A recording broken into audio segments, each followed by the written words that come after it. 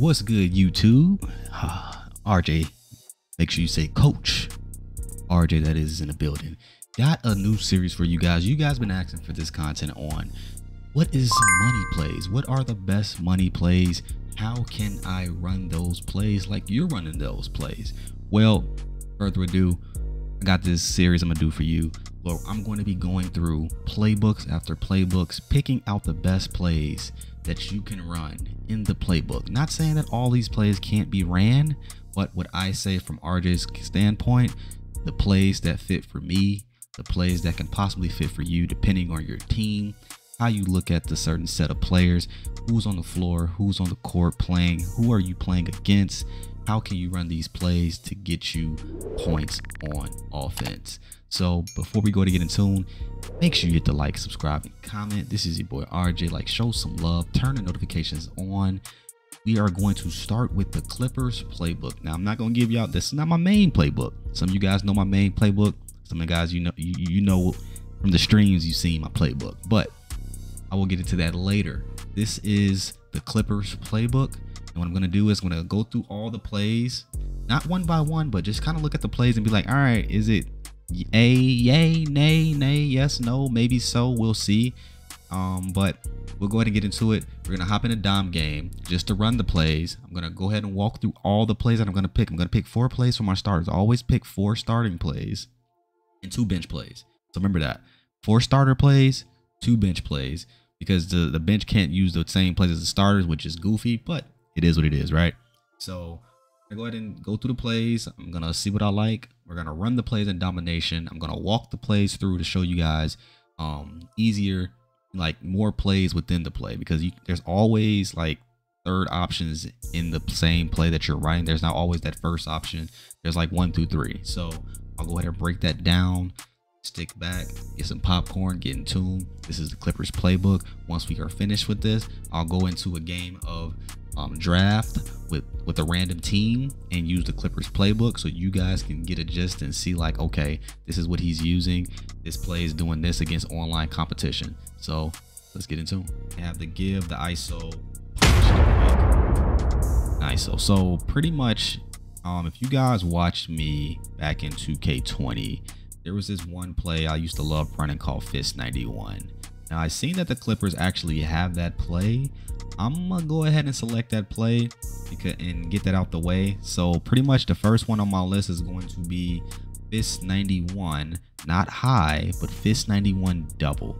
So as you can see with Fist 91 double, I'll go ahead and show you guys in game. This is just a quick quick glimpse of what you're seeing right now Fist 91 double, what it looks like. But you know, pretty much what I always recommend is sometimes you don't always have to run the play all the way through if you have an option to score off of a certain move, do it. The play is just there to help space the floor for the players to be spaced out, also to keep the players and the defenders confused because some people like to sit on the center or sit on a small forward and just watch the floor.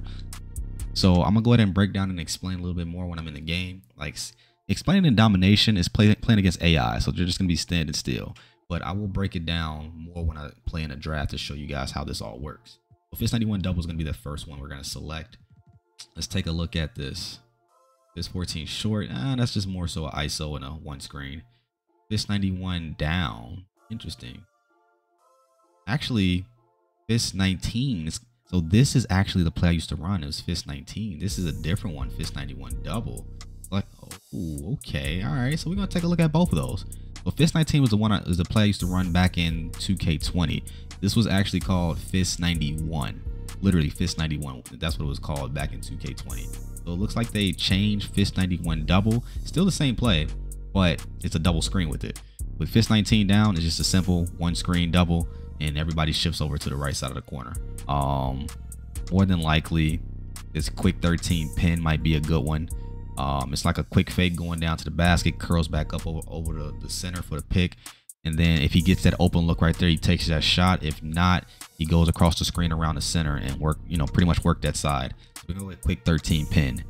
And then the last but not least, the fourth one I'm gonna go with. I always recommend going with some type of five out ISO play. So we'll try to find something that can space out the floor. Um, ISO two side. I feel like ISO two side is it's pretty decent. It's a lot of movement going on, but you can definitely create. So I'll I'll low key say, you know, you can do pass and screen away and go Hawks freelance. Of course, you can always do that if you want to make that an option. That way you can run five out. But you know, if you don't have a five out play selected within playbook, then try to find an ISO play that creates space. That way you can just create on the floor and go from there. Because when we run a five out, we're not looking to actually run the five out. We're just ISOing. And if we get to the lane, somebody drops, we're going to kick for the three. So that's pretty much what we're going to be looking for in this ISO two side pull. First up, we're going to run fist 91 double. So fist 91 double, we go to this right side of this wing, double screen, going across both of those. You know, I mean, at the end of the day, you know, pretty much simple. Go to the right side of the, the wing, double screen incoming. Now, you could do this too. If the big man and if they're not stepping up with the power forward or the big man, you could low key, if this is a big body screen, stop and pop that three right there. I'm gonna show y'all. We can try to run that again. We'll do it. Try to pop a three from distance to see if we can get it off. But this play is pretty much fist 91 uh, double. I didn't I didn't let it fully go through because we had a lane right to the basket for an easy layup. We went straight up to strong, straight to the rim. So that was just simple, straight to the point. A double screen from two bigs. If you have two bigs with brick wall, just imagine Hall of Fame brick wall on both of your bigs, setting that big screen. That's gonna be hard to get around. So we're gonna we're gonna run that play again with that second option of the fist 91 double, just to try to get that three if he does not step up with the big. This is the AIs, of course. So like I said, this is the AI. So of course, you know, it might not happen, but I'll show you in draft if I can break it down a little bit better. So double screen right here. Step it over. All right, let's run it back again. See, oh, see, see, if we don't got the look, we don't got that look, we can literally set two screens. That play was kind of ugly. We'll try to rerun that. I don't like how I just ran that. We'll try to rerun that. But if you miss the first screens, they're going to turn around and set that second body screen as well. So you'll have two times to go back and back to a double screen and get across. We'll go ahead and run it again. That way it looks pretty pretty well um, put together because that, that was kind of ugly. That was kind of ugly. So let's go ahead and set it up. Let the offense get down court. Call that fist 91 double. Let them get in position. Get over here. Watch the double screen. Go across. Be patient. Be patient. Let the double screen go across. Nice. He steps up. got LeBron James. Now, see, they pretty much box us right there. So you got nine seconds to rerun it. So we got to create something. Create something. Open. And you're open right there. Get those two screens going. But that last possession, as you've seen, how we were pretty much didn't have a look. So we didn't force it. But right here, so cross, cross, double screen coming last, you know, big screens. This is when they said two big screens. We got the open look for the three. This is what I mean by if you don't step up with the big, you have that look. You got blinders. You know how to stop and pop that jumper get that to go. Go crazy. A lot of you guys like using Kyrie. A lot of you guys like using um Kemba Walker. I mean, I use CP3, but a lot of you guys like using uh, VanVleet. So it's like you guys know how to shoot with certain point guards. But if you can get across these screens right here, you get that open look. All you need is a little bit of space, no contest. So that shot up. All right, so fist 19 down. With fist 19 down, we go to the same wing, you know, double screen right here, all the way to the rim. Or you got to kick out. So to the rim, I just wanted to see what else was going to happen, but I could have went up easy. But then again, I got Chris Paul. If I'm playing online, somebody's going to try to block that, right? Get a chase down block because it's Chris Paul. He's short. He's not going to be able to go up and dunk. Now, AI possibly. Maybe he can get through with that. But here's Fist 19 double right here. So let's look at the floor spacing. All right. So Chris Paul goes across his double screen, right? Look at Dale Ellis and Kawhi. So Kawhi sets a screen for Dale Ellis on the right side of the court. So peep that. He sets a screen for Dale Ellis on the right side of the court. Now, I had a look at Dale, but I had an open lane to the basket. Now, as I get to the rim, Kawhi's man's drop while Collin Sexton is going to try to go help defend his guy to recover. So we're going to kick back out. Even though I could quick kick this to Dale, quick pass back to Dale, easy three.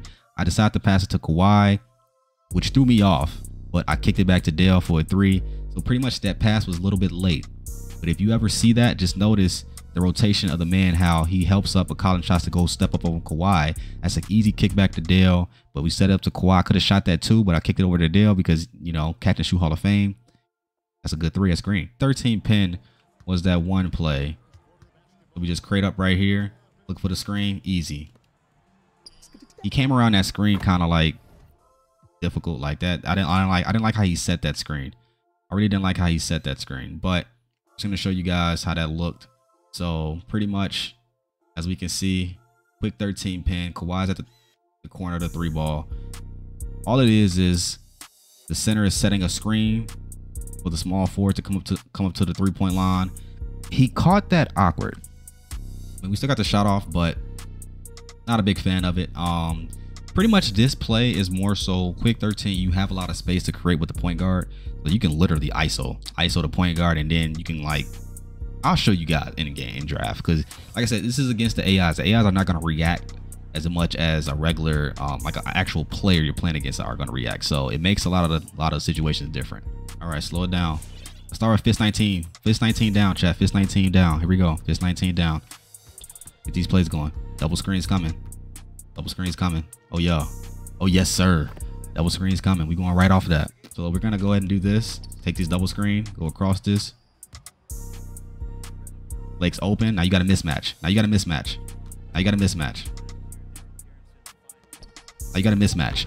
I mean, at the end of the day, if he's going to switch, like what he's doing right now, he's trying to not play with the with the uh, CP, the CP. Well, he's trying to play with Chris Paul, but he's not using. He's using AI to play on ball. But at the same time, when that happens, you know, I can get across that screen. It's going to be a switch with Blake, and now it's a mismatch. Shooter open. Let's run that uh, Fist 91 double again. But this time we're going to go across and look for that jumper from the wings. So you got Blake right there. As he as all of them drop down, you see that right there? We ran Fist 91 double. We took him and baited it going to the rim with Kirk. The layup. We baited it going to the rim with Kirk left the power forward at the top of the key for a three. Left both of them actually. So it's like if you have two shooters, power forward and center, hey, if they're not gonna sit there and play, they're just gonna drop down like that. Just utilize it, utilize the screens, rotate back. Good defense. But we hey look, we're utilizing our plays. He's dropping back with KAT.